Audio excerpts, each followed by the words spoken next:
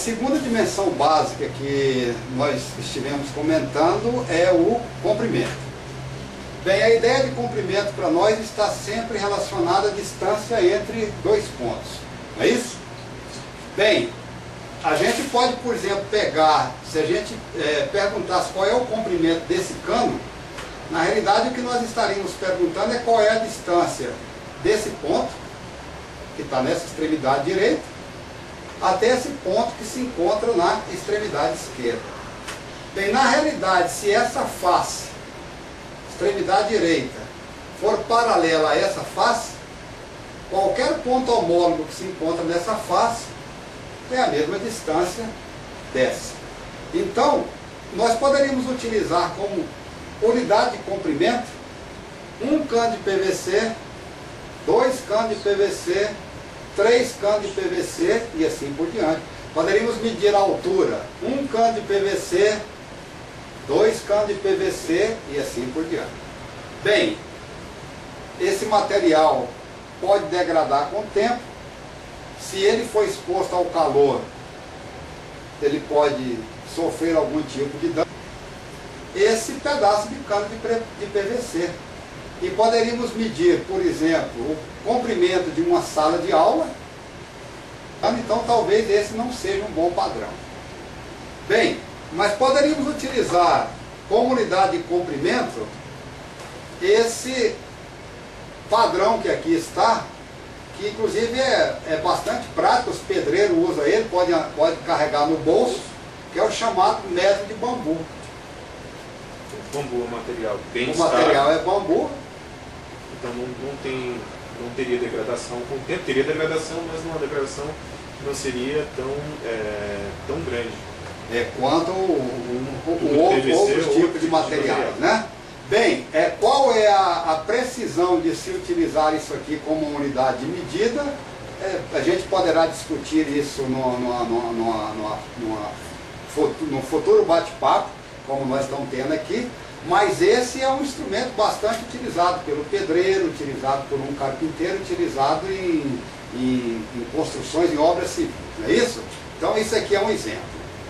Bem, a, ao invés então de se utilizar o cano de PVC como unidade de comprimento, ou essa distância que vai daqui até aqui, que poderíamos ser chamada de polegada, ou palmo, foi convencionado pelo sistema internacional utilizar como unidade de comprimento o metro.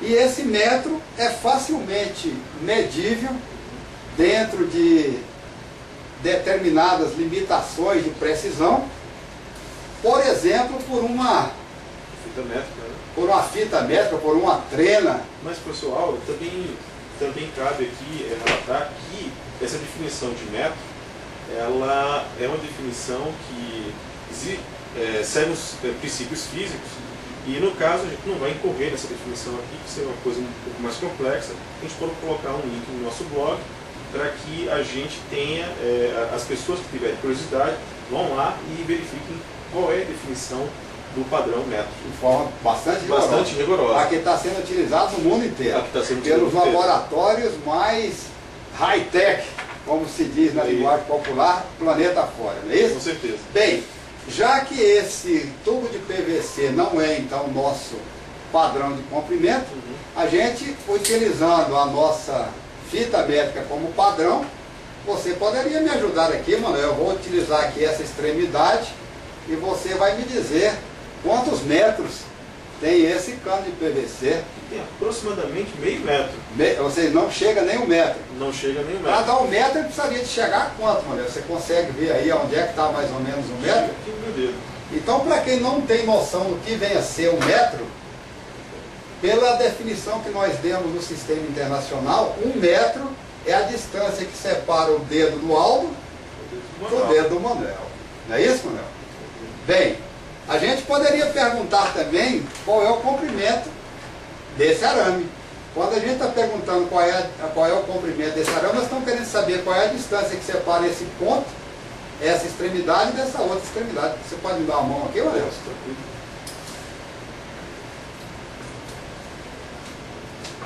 Está dando um metro?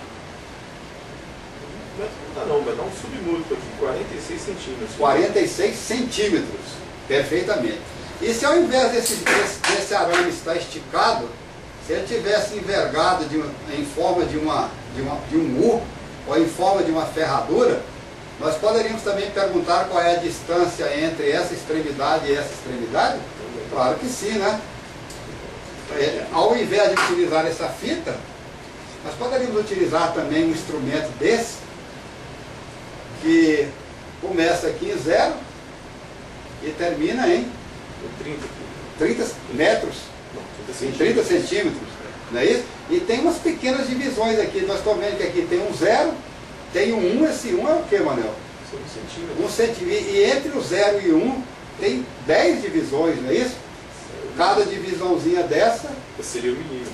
Que é um décimo do centímetro, não é isso? Então a gente pode utilizar a regra e você me ajuda aí para a gente poder estimar qual é a distância que separa esses dois pontos, essas duas extremidades. Mais ou menos 12 centímetros. 12 centímetros. Então essa distância que está separando essas duas extremidades é o. É, você acaba de me dizer que está em volta dos 12 centímetros. Não é?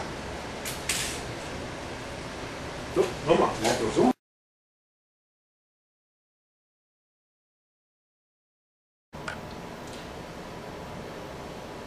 Bem, como nós estávamos falando, a dimensão comprimento está sempre relacionado com a medida da distância entre dois pontos. Se eu desejar saber qual é a distância entre essa extremidade do tijolo para essa outra, nós podemos utilizar a nossa fita métrica. Ou seja, a distância entre essas duas extremidades, 20 centímetros. Se desejarmos medir a distância entre esse ponto e esse, a distância tem 10 centímetros. Se desejarmos medir a distância entre esse ponto e esse, aproximadamente 5 centímetros. A dimensão comprimento é importante para que a gente conheça, por exemplo, qual é, qual é a área, qual é a superfície que tem essa parte superior do tijolo. Para isso nós precisamos de conhecer quanto que vale o comprimento, 20 centímetros, e quanto que vale a largura, 10 centímetros. A dimensão comprimento é importante também se nós quisermos determinar o volume desse tijolo, que tem a forma de um paralelepípedo. O comprimento é 20 centímetros, a largura 10 e a espessura 5.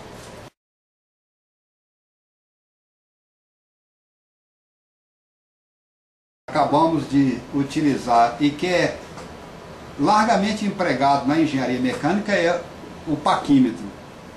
Enquanto a resolução dessa fita é o milímetro, a resolução desse equipamento é um equipamento de maior precisão, é o décimo do milímetro. Ele é utilizado, por exemplo, para se medir o diâmetro externo desse tubo de PVC. Que nesse caso, se nós dermos uma, uma lida no valor que ele está indicando, está aqui em 26 milímetros. Ou seja, o diâmetro externo desse tubo de PVC, 26 milímetros. Ele pode ser utilizado também, é bastante prático, para se medir o diâmetro interno desse tubo de PVC. A indicação que nós estamos tendo aqui está em 21 milímetros.